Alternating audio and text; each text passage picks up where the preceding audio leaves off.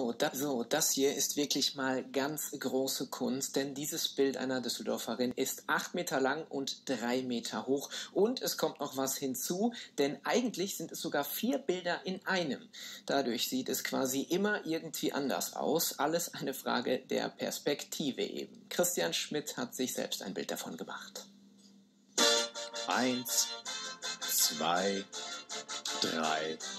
und vier Bilder in einem macht das größte Bild Deutschlands. Acht Monate hat die Düsseldorfer Künstlerin Meral Alma täglich an ihrem Werk Zirkus des Lebens, vierter Akt, gearbeitet. Fast ununterbrochen. Eine Pause gab es nur zum Schlafen und Essen. Man hat erstens das Gefühl, dass man nie fertig wird und das sieht so aus, dass man ähm, geht, äh, also man kommt ins Atelier und bleibt so bis morgens, das äh, so bis 4 Uhr, 5 Uhr, 6 Uhr.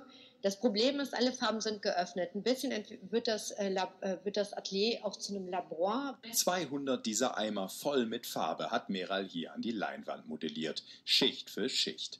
Ein irres Farbenspiel, so bunt, dass selbst die Turnschuhe zum kleinen Kunstwerk werden. Vom Tisch aus prüft die Künstlerin immer wieder kritisch ihre Arbeit. Die speziellen Farben zeigen je nach Lichtstimmung ein ganz anderes Bild.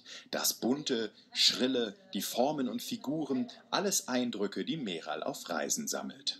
Habe verschiedene äh, Kulturen und Völker kennengelernt, abgefahrene Reisen gemacht, die sehr spontan waren und trage im Grunde genommen diese ganzen Eindrücke in mein Atelier.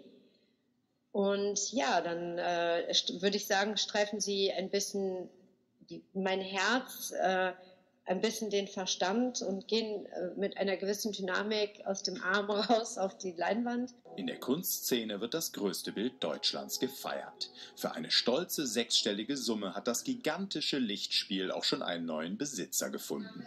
Doch anstatt jetzt den Ruhm zu genießen, macht Meral weiter. Ihr nächstes Projekt läuft bereits. Natürlich bunt, schillernd und mit viel Farbe.